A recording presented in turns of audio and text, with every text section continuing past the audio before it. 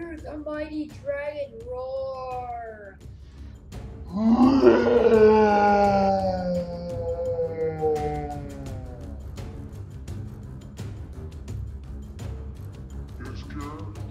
Yes, Chris, it was definitely most good.